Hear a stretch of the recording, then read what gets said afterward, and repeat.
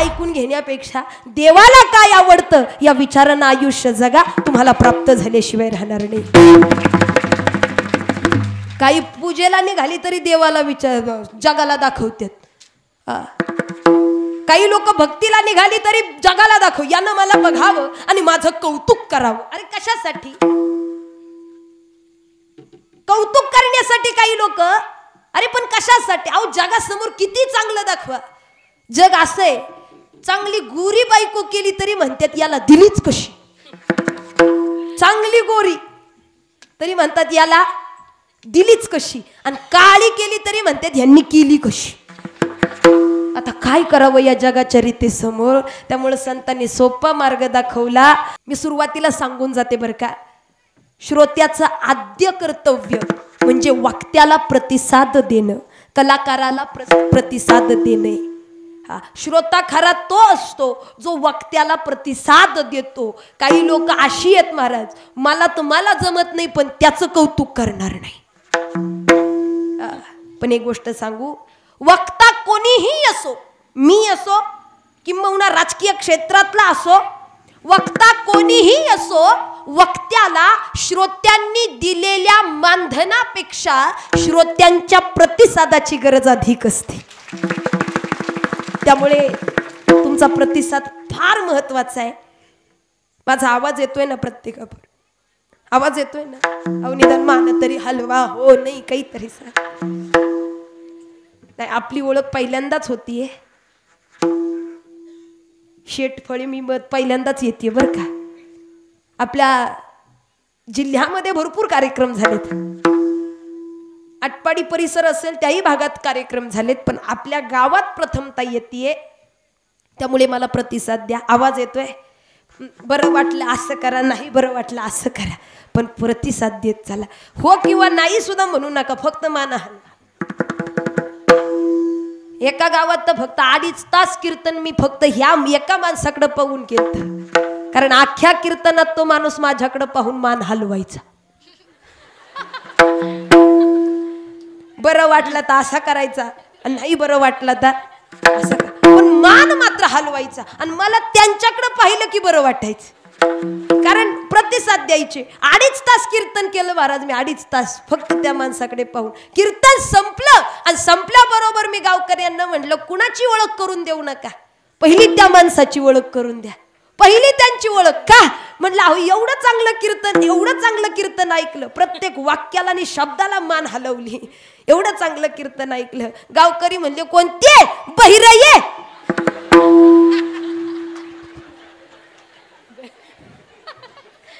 आता बघता कोणाकडे? हे अडीच तासानं मला कळालं. याची फार खंत वाटली. पण तुम्ही असं करू नका. पटलं तर प्रतिसाद देत चला. विठल विठल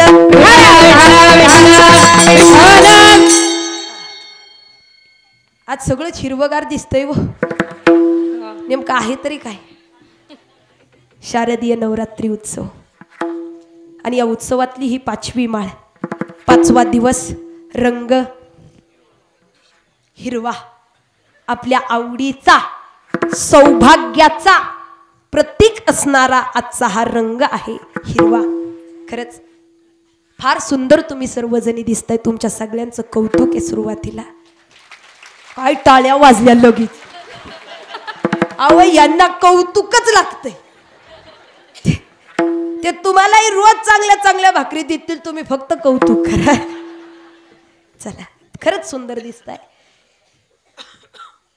महाराज अनेकदा लोक विचारतात ते स्वर्ग म्हणजे काय? स्वर्ग म्हणजे काय? ज्याला खरंच स्वर्गाची अनुभूती घ्यायची त्याने शेटफळीमध्ये यायचं. अरे हा स्वर्गापेक्षा कमी आहे का? जे स्वर्गातही प्राप्त होत नाही ते इथे मिळते खरी अर्थानं हा सुख सोहळा स्वर्गी नाही. खरंच नाही. एवढं सुंदर तुम्ही वातावरण एवढं सुंदर तुम्ही नियोजन केलं. खऱ्या अर्थानं सर्वप्रथम जोगेश्वरी जोगेश्वरी माता नवरात्र उत्सव मित्र मंडळ सर्व मंडळाचं पहिल्यांदा मी मनापासून आभार मानते की तुम्ही फक्त कीर्तनं नाही आयोजित केली बरं का? महाराज असंच कुठे कीर्तन घडत नाही बरं का? कीर्तन घडण्याकरिता कीर्तन होण्याकरिता भजन होण्याकरिता तिथली माती सुद्धा तेवढी पवित्र असावी लागते एवढं लक्षात ठेवा. असं नुसतं पेम्पलेट छापले म्हणजे कीर्तन झाली का? नाही नाही नाही नाही. आज खरंच मला आनंद वाटतो दादा. तुमच्या तरुणांचा सहभागी एवढा मोठा आहे आणि सगळ्यात मोठं कौतुक वाटतं तुम्ही गुवाहाटीवरून राम मंदिरातून तुम्ही ज्योत घेऊन इथपर्यंत आला. खरंच तुमचं कौतुक करावं तेवढं कमी आहे. किती किलोमीटरचा प्रवास? सव्वीसशे सत्तावीसशे. म्हणजे सत्तावीसच्या पुढे म्हणलं तरी चालेल. म्हणजे सत्तावीसशे अठ्ठावीसशे एवढं रनिंग हजार हजारो किलोमीटर हा? आणि एवढं लांब त्यांनी त्या खऱ्या अर्थानं ज्योत घेऊन किती देवीवरती श्रद्धा असावी हे यातून निश्चित तुमचं लक्षात येतं. अरे पंचक्रोशीमध्ये आपलं कौतुक आहे. खरंच महाराज असं काही गाव असावं असं काही भूमी असावी ही भूमीची ताकद आहे ही देवीची ताकद आहे जे आपल्याकडून तिची सेवा करून घेत असते लक्षात ठेवा. काही लोक बळच करायला जातात पण होत नाही बरं का. बळच करायला जातात पण होत नाही. ज्यांच्या अंतकरणात शुद्ध भाव आहे कारण देवाला काय आवडतं? देव! भावाचा भुकेला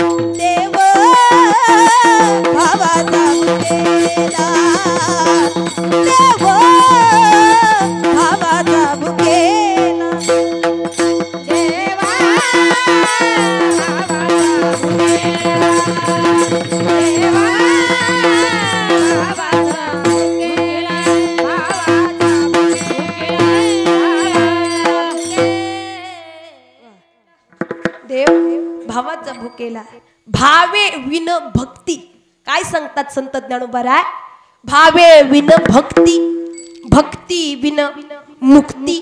आणि बळे विन शक्ती बोलू नये. भाव नसेल तर भक्ती कामाची नाही.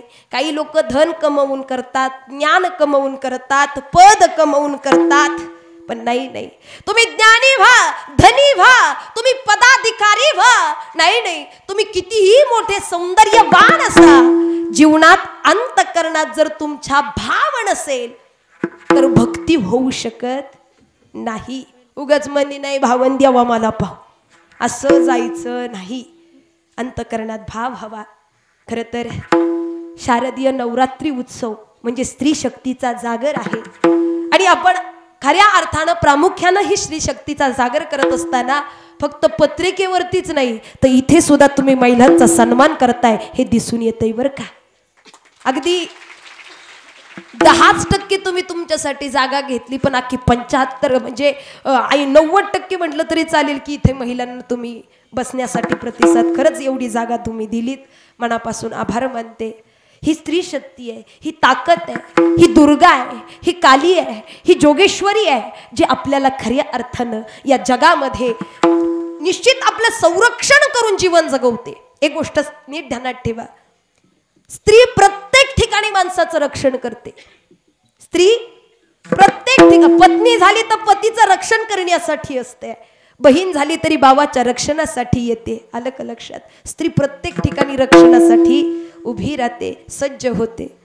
आपण सर्वजण कथा ऐकली असेल ऐकत असतो किंबहुना ऐकू अजून पुढेही ऐकणार आहोत की खऱ्या अर्थानं ज्यावेळी या पृथ्वीवरती दैत्यांचा राक्षसांचा सुळसुळाट होता त्यावेळी दैत्यांचा नाश करण्यासाठी म्हणजे वाईट प्रवृत्ती. राक्षस म्हणजे कोण? राक्षस म्हणजे कोण? माणसं माणसंच असतात. लक्षात ठेवा. पण त्याच्यामध्ये वाईट विचार आले तर तोही दैत्य झाला. मग दैत्यांचा नाश करण्यासाठी खऱ्या अर्थानं त्या जगदंबेनं त्या भगवतीनं इथपर्यंत महिषासुरमर्दनीचा अवतार घ्यावा. महिषासुरासारखा राक्षस त्यांनी मारावा. आणि अशा पद्धतीनं अगदी चंडमुंड असतील शुंभ निशुंभ असतील. असे अनेक दैत्य त्यांनी मारले. आणि खऱ्या अर्थानं आपल्या सर्वांना त्यांनी चांगल्या पद्धतीनं जीवनदान दिलं. आज आपण त्या देवीचा उत्सव करत आहोत. आणि मी मुद्दामून आज खऱ्या अर्थानं हा अभंग निवडला. हे चिथोर भक्ती आवडते देवा. संकल्पावी माया संसाराची. ठेविले आनंदे तैसेची राहावे चित्ती असू द्यावे समाधान. होत काय? आम्हाला सण कळतात आम्हाला उत्सव कळतात आम्हाला देव धर्म कळतो. पण आज भक्तीमध्ये लागणारा खरा भावच आम्हाला कळत नाहीये. दानपेटी पैशाने भरली आहे पण त्या दानपेटीमध्ये आमचं प्रेम आमचा विश्वास आमचा भाव कुठेतरी कमी पडू लागला. आज मंदिरं स्वच्छ झाली आहेत सुंदर झाली आहेत घरात देव्हारा असतो महिला मंडळ आपल्या. आहे ना प्रत्येकाच्या? कधी तिथे कचरा पडू देतो का आपण? धूळ साचू देतो का? नाही ना? का? अरे देवाचं घर आहे. एक वेळेस आपलं घर झाडायचं राहिलं तरी चालेल पण देवाचं घर स्वच्छ असलं पाहिजे. आम्ही देवारा स्वच्छ केला आम्ही घर स्वच्छ केलं अंगण स्वच्छ केलं आम्ही मंदिर स्वच्छ केलं पण आज खऱ्या अर्थानं ज्या गोष्टीला स्वच्छ करण्याची गरज आहे ते मनच आम्ही अस्वच्छ ठेवलेलं आहे कारण आम्हाला भक्ती काय किंबहुना भाव काय अजूनपर्यंत लक्षात आलं नाही. दहा दहा वर्षांपूर्वीचा कचरा या मनामध्ये बसलेला आहे. मला अशी म्हणली होती. कधी? दहा वर्षापूर्वी. माझा अपमान यानं केला होता. म्हणले ताई पंधरा वर्ष झाली आम्ही एकमेकांचं तोंडही बघत नाही. अरे काय कारण? काही नाही. लोकांमध्ये याने माझा अपमान केलता. अरे म्हणलं किती दिवस झाले म्हणले पंधरा वर्ष झाली. म्हणलं पंधरा वर्षाचं एखादं कॅलेंडर आहे का? म्हणलं कोण ठेवतंय? वर्ष बदललं दिवस बदलला महिना बदलला की माणूस कॅलेंडर बदलतो? नाही म्हणले पंधरा वर्षापूर्वीचं कॅलेंडर म्हटलं ज्या दिवशी तुमचं भांडण झालं त्या दिवसाचं तारीख वार तरी लक्षात आहे का? म्हणजे ताई कोण लक्षात ठेवतात तारीख आणि वार? बरं ज्या दिवशी तुमचं भांडण झालं त्या तुम त्या दिवशी तुम्ही काय पदार्थ खाल्ले होते?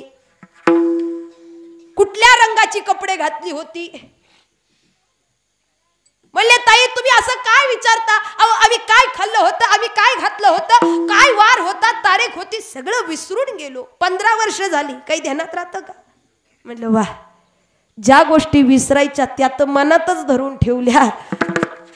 अरे कॅलेंडर विसरला तारीख विसरला तशीच पंधरा वर्षापूर्वी हे बोलणं सुद्धा विसरून गेला असता हे भांडण सुद्धा विसरून गेला असता तर येणारी पंधरा वर्ष एकत्रितपणे परमार्थ केला असता. नसता केला का? पण आमचं मन परमार्थात सगळ्यात जास्त महत्त्व कशाला असेल तर मनाला आहे बरं का? कारण ज्ञानेश्वरीमध्ये ज्ञान भगवान परमात्मा आहे मला हे सांगतात बर का.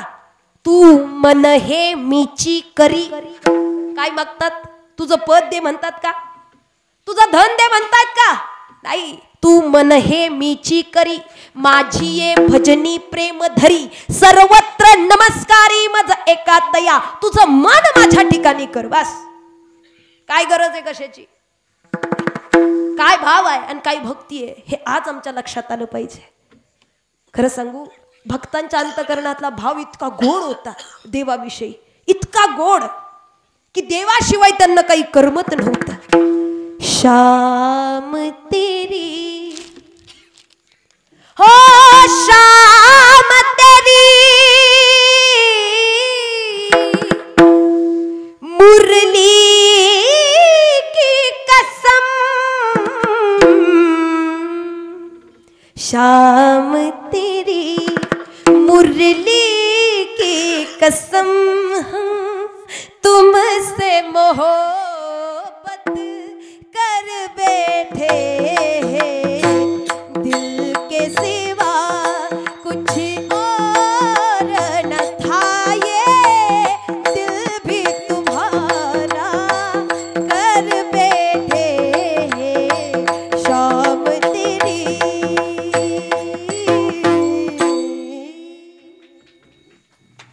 देवा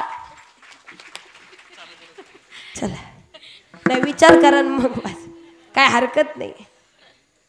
श्याम तरी मुरली की कसम. अरे देवा एकच तर हृदय होतं पण ते सुद्धा तुला देऊन टाकलं. का? आता तुझ्याशिवाय तर आम्हाला काही करमत नाही. तू आहेच म्हणून आमच्या जीवनाला अर्थ आहे. हा भाव संतांचा आहे. एक गोष्ट ध्यानात ठेवा. तुम्ही देवीची भक्ती करा. देवाची भक्ती करा.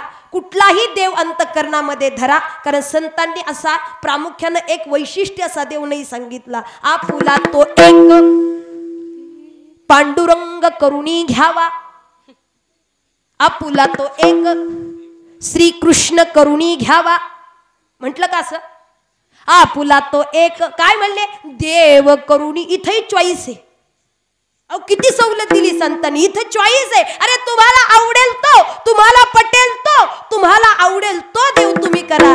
देवीची करा देवाची करा. आता देवाची केली देवीची केली. देवी आणि देव वेगळं नाही. देवही तिथंच आहे. आणि देवी सुद्धा देवाच्या जेथे लक्ष्मीचा वास